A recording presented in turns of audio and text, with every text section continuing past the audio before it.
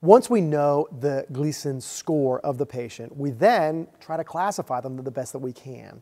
And the way that we look at that is primarily we look at the PSA. The higher the PSA, we then will classify that patient as a higher risk. And the way you want to think about this is that as that PSA increases, there is a higher risk that that prostate cancer has potentially gotten outside of the prostate and potentially elsewhere in the body. So it's very, very important. The PSA continues to remain a very, very helpful tool for us to evaluate that cancer. And of course, the second thing we looked at, which we talked about, is the Gleason score.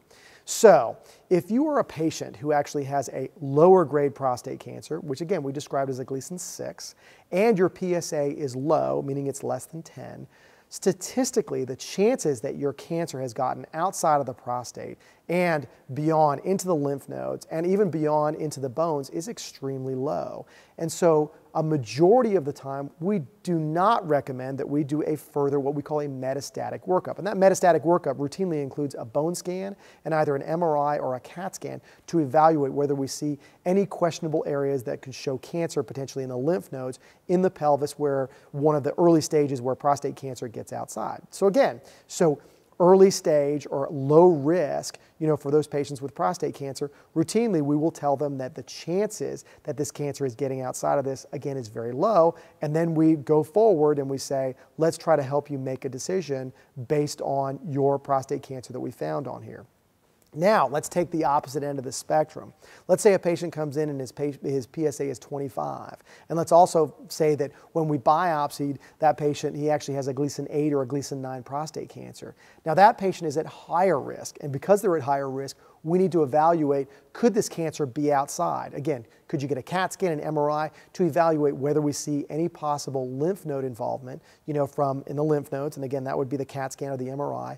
And also, could there be a positive bone scan? And even though that bone scan is still going to be relatively low risk of finding on that, certainly with his PSA of 20, that patient who is at a higher risk because of his high grade cancer as well as his PSA being elevated, that's a person that it is important for us to evaluate this this. And what are we, why are we evaluating all this? We evaluate all this because we want to know what options we have for that patient. We know that if that patient actually still has localized prostate cancer, it's still localized within the prostate, there's an excellent chance that we have all the options in the world for that patient. If it's a really low grade prostate cancer, a low volume, we could potentially follow with active surveillance. But if we start looking on the opposite spectrum, which is that patient with a Gleason 8 or the PSA of 20, that's a patient that we want to be more aggressive with. If we find that that patient unfortunately has metastatic disease and that cancer has already gotten outside of the prostate, we can't cure that patient from localized therapy, at least as a whole. What happens is if the cancer gets outside and it gets the bones, we can't cure them. We can keep them around for a number of years, which is the encouraging news.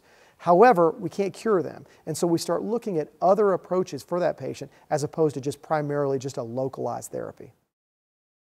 Some prostate cancers are high risk, aggressive, and more likely to spread.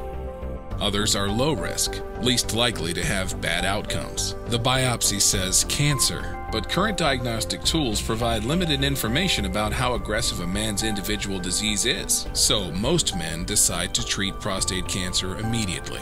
Once treated, many men experience serious long term side effects, like incontinence and sexual impotence. Immediate treatment isn't always needed, but right now, a man can't be sure if his cancer is the kind that is likely to require treatment or if he's okay to wait for now. What if there was a test that could determine how aggressive prostate cancer is? Genomic Health is developing a new test to do just that. By reviewing the underlying biology of the tumor and using genes from multiple biologic pathways, the test can predict the aggressiveness of prostate cancer when diagnosed allowing a man to make a more informed treatment decision with confidence, taking care of himself with more information and greater peace of mind.